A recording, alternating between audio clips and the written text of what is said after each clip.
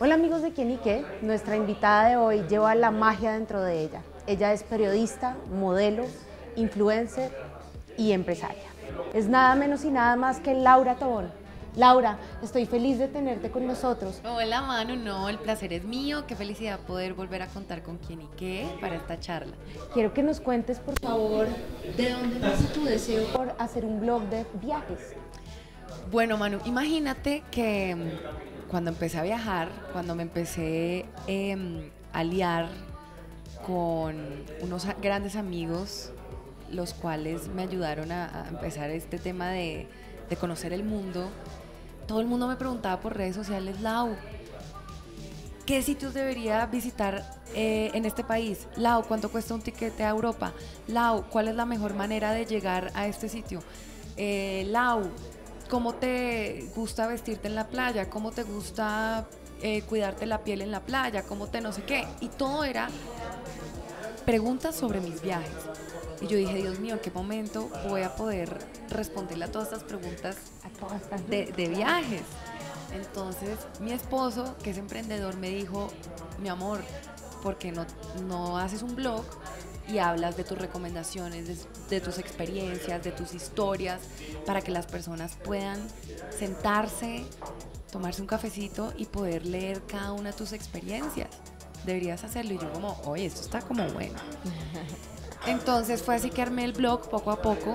Eh, en el blog hablo de cada destino que visito, eh, contando los lugares que las personas deberían ver, los lugares que a veces de pronto no valen tanto la pena, los lugares que son como tourist traps, que son como trampas de turistas que sitios turísticos tienen como para que la gente gaste plata, entonces ahí es donde yo entro y les digo, no vayan a este sitio, vayan a este sitio, oigan, es más barato en este lugar, oigan, este restaurante es divino, entonces fue así que, que surgió todo el tema del blog.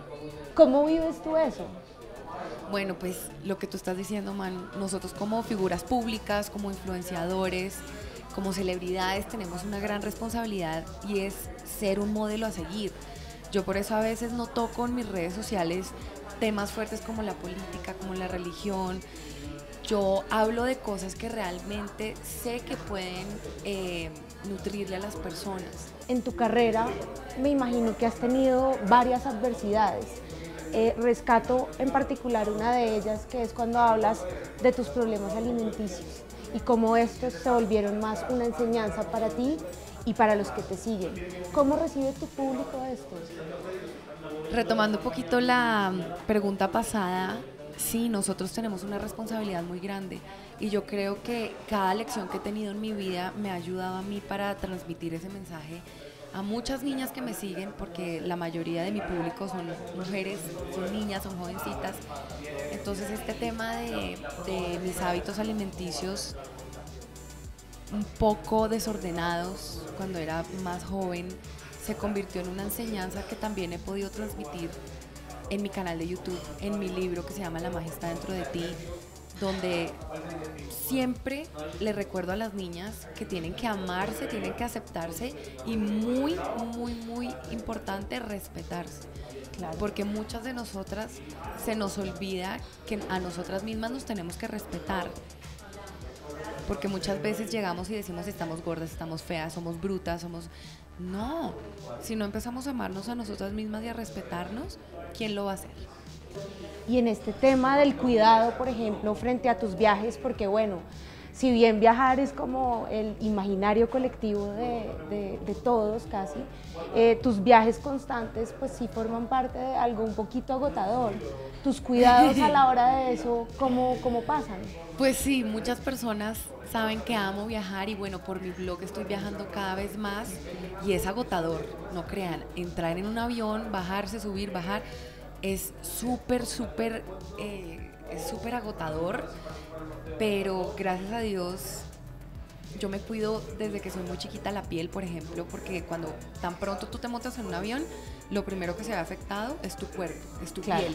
Entonces lo que primero, lo que siempre hago es desmaquillarme en un avión con mis pañitos desmaquilladores, siempre desmaquillarme la carita, hidratármela muy bien. Tengo un tengo un, producto maravilloso de Neutrógena que siempre me sirve, que es un Hidragust, que siempre cargo en los aviones para hidratarme la piel, porque uno la siente un poquito más seca cada vez que entras a un avión y cada vez que te bajas. Entonces, ese es un excelente tip para las personas que les gusta viajar.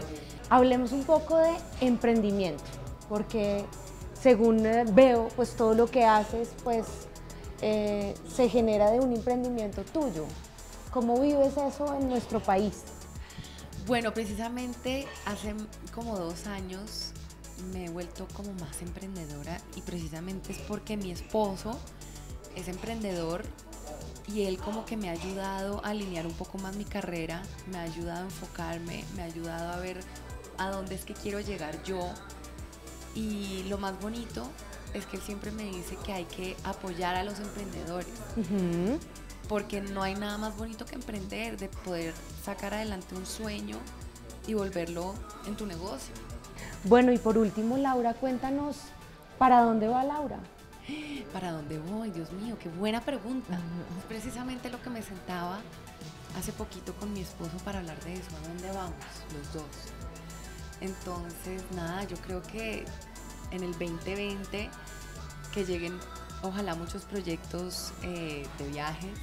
Claro. Seguir emprendiendo con mi canal de YouTube, que sigan saliendo cositas en televisión, pero más que todo me gustaría involucrarme más con temas de, del medio ambiente, ya que estamos pasando por una crisis tan grande que estoy tratando de, de cada vez involucrarme más con el tema. Ahorita estoy haciendo un garage sale con varias amigas donde estamos reciclando ropa, donde estamos dándole un mensaje a las personas que no está mal volver a ponerte algo que otra persona se claro, moda circular. Moda circular, entonces quiero meterme un poquito más en ese tema. Eh, también estoy apoyando una fundación hermosa que se llama Ética Verde, que protege los bosques de agua, que protege los árboles. Entonces, bueno, eso es lo que viene para el próximo año y bueno, vamos a ver qué más trae, qué sorpresas trae. Bueno, Laura, pues qué felicidad tenerte hoy acá con nosotros. Muchas gracias por aceptar esta invitación y no nos cabe duda de que el 2020 será un éxito. Ay, Dios quiera. Y gracias a todos de quien y que por esta invitación tan especial.